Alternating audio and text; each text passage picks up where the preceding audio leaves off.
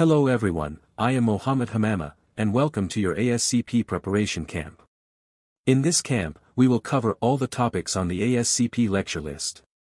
In this video, we will explore the abundant components of the circulating proteome. But before we start, make sure to subscribe to our channel, activate the notifications, and hit the like button for this video. Let's dive in. Lipoproteins, the body's fat transporters. Lipoproteins are specialized transport vehicles in the blood, responsible for carrying essential molecules like cholesterol, triglycerides, and phospholipids throughout the body. Structure and subtypes. Protein core, lipid shell, these complexes have a core made of protein surrounded by a shell of various lipids. The specific ratio of protein to lipid and the types of lipids involved determine the different classifications of lipoproteins. Major lipoprotein classes. Chylomicrons, largest transport dietary fats absorbed from the intestines. Very low-density lipoproteins, VLDL deliver triglycerides synthesized by the liver to various tissues. Intermediate density lipoproteins, IDL an intermediate stage in lipoprotein metabolism. Low-density lipoproteins, LDL often referred to as bad cholesterol, because they deliver cholesterol to body tissues. High LDL levels are a risk factor for atherosclerosis, plaque buildup in arteries. Lipoprotein A, LP, A, similar to LDL but with an additional protein molecule, LP, A, may increase cardiovascular risk. High-density lipoproteins, HDL often called good cholesterol, because they transport cholesterol back to the liver for disposal. HDL helps to remove excess cholesterol from tissues, promoting cardiovascular health. Identifying lipoproteins on electrophoresis. Electrophoresis is a technique used to separate proteins in a blood sample based on their size and electrical charge. Lipoproteins can be visualized on an electrophoresis test, often called protein electrophoresis or HRE, based on their migration patterns. HDL, moves between the albumin and alpha-1 globulin zones.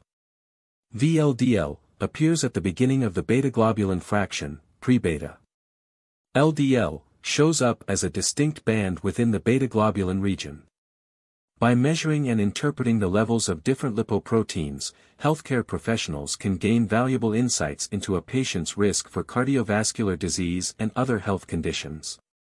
Complement system, your body's built-in bug zappers. Made in the liver, ready for action, the liver manufactures proteins called complement proteins, but keeps them inactive until they're needed.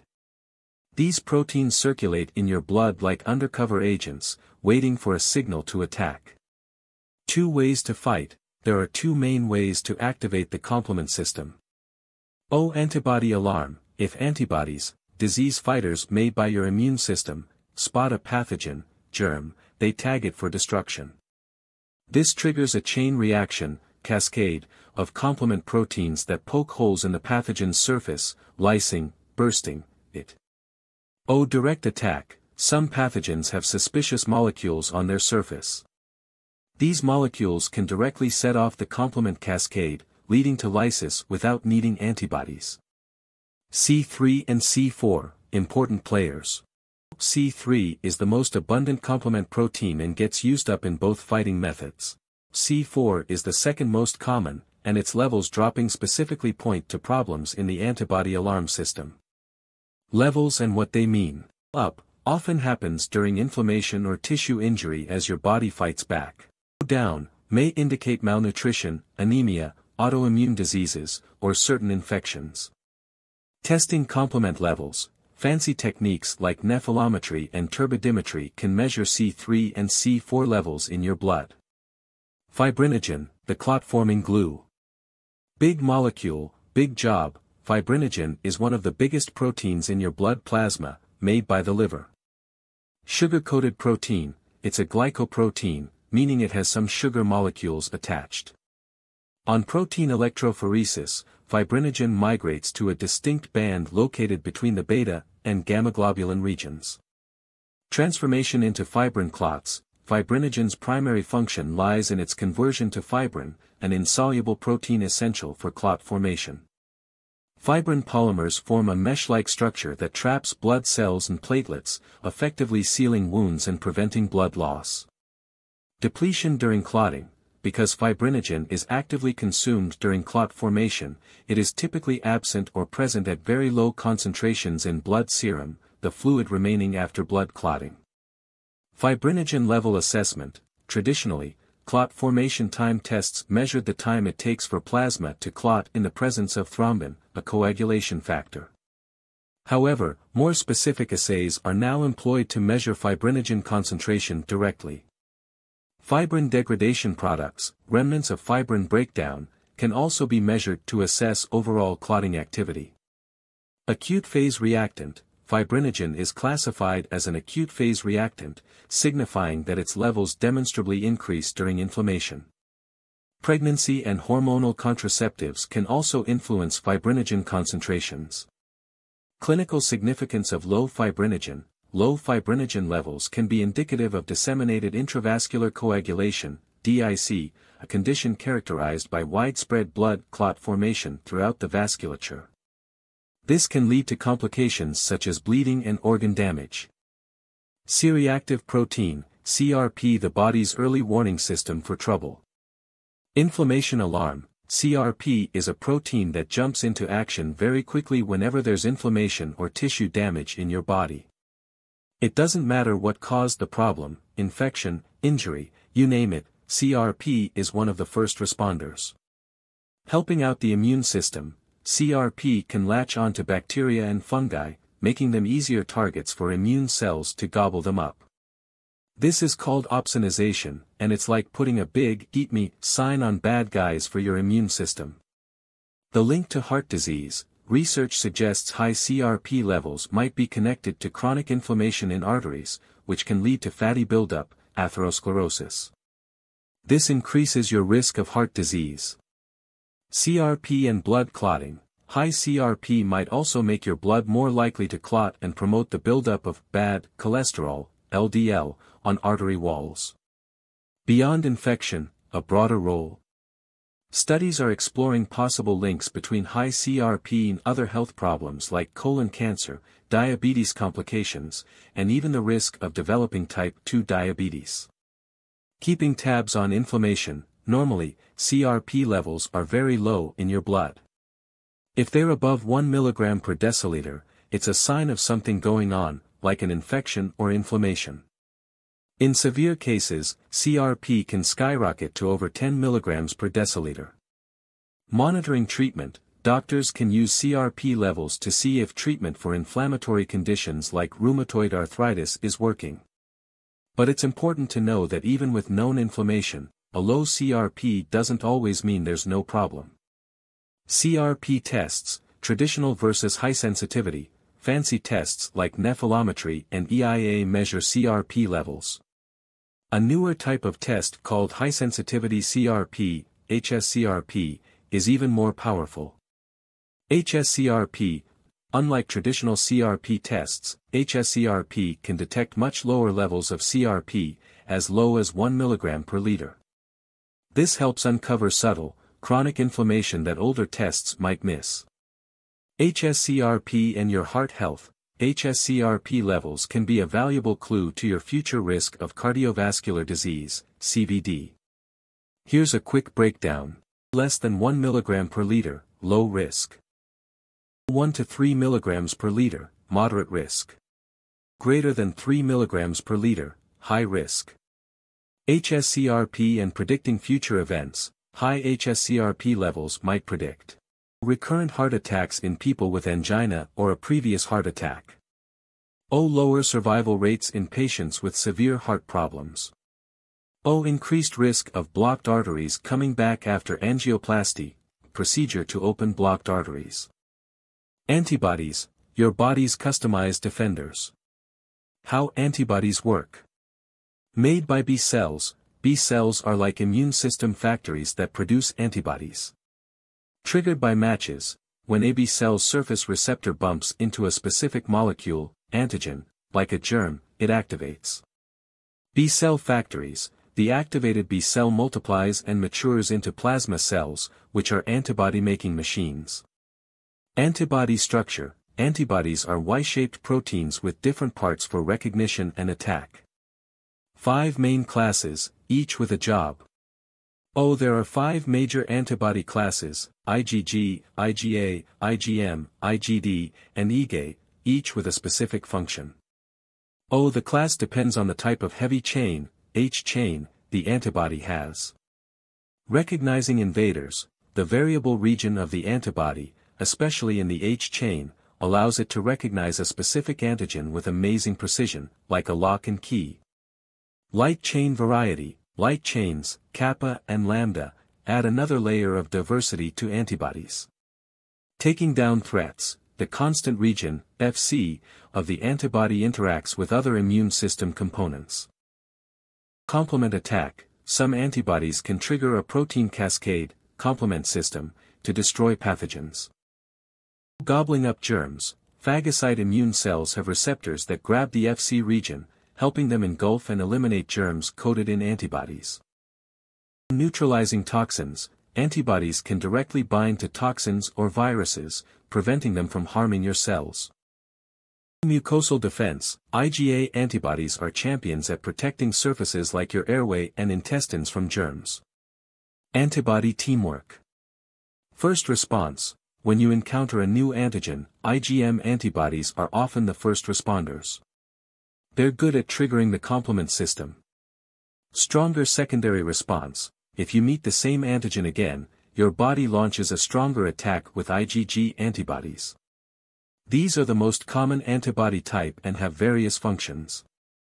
Other important players, IgA guards your mucous membranes, IgE triggers allergies, and IgD's role is still being explored. Antibodies are like your body's custom-made defense team, with each type playing a crucial role in recognizing and eliminating specific threats. Immunoglobulin G, IgG the heavy hitter. Most common antibody, IgG makes up 70 to 75% of your circulating antibodies, acting as your immune system's workhorse. Y-shaped structure, it's a Y-shaped molecule with two heavy chains and two light chains, all linked together.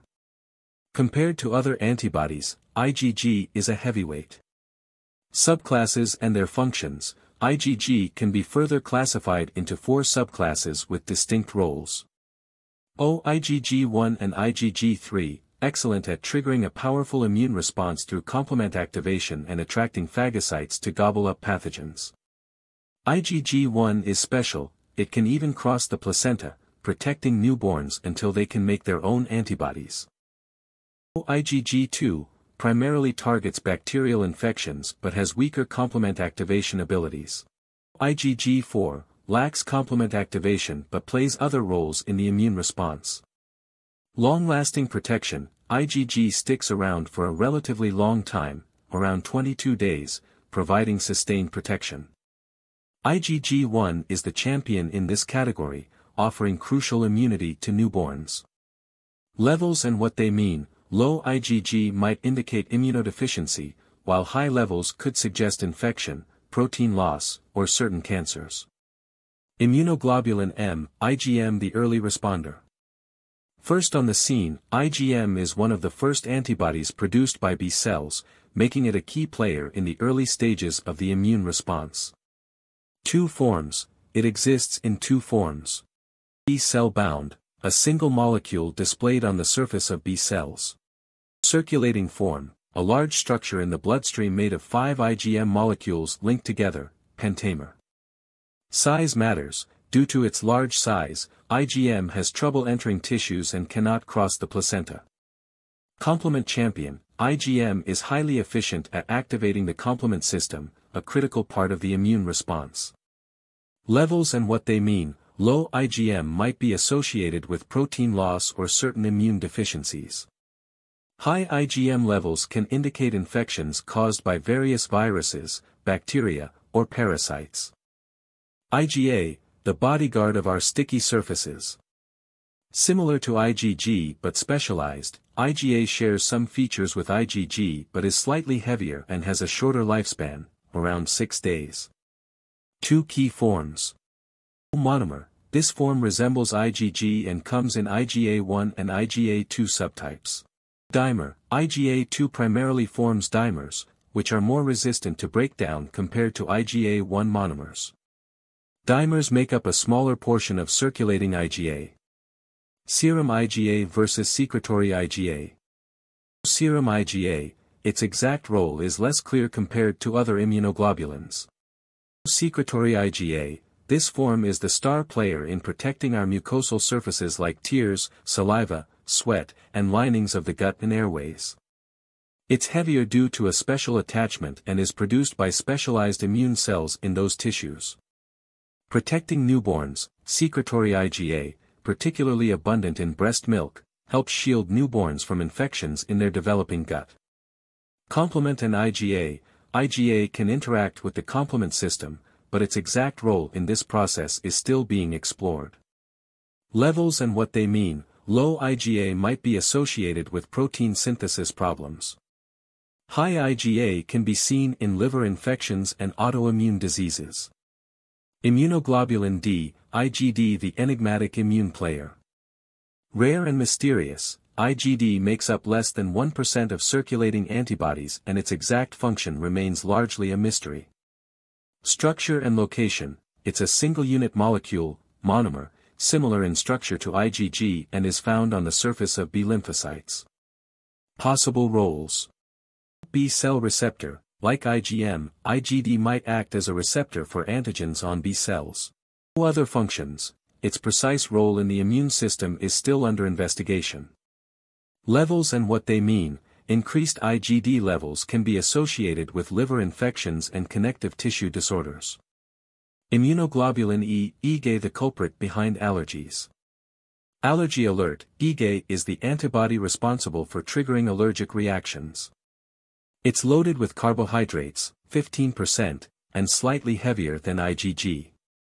Mast cell buddies, most IgE molecules don't circulate freely but cling tightly to mast cells throughout your body.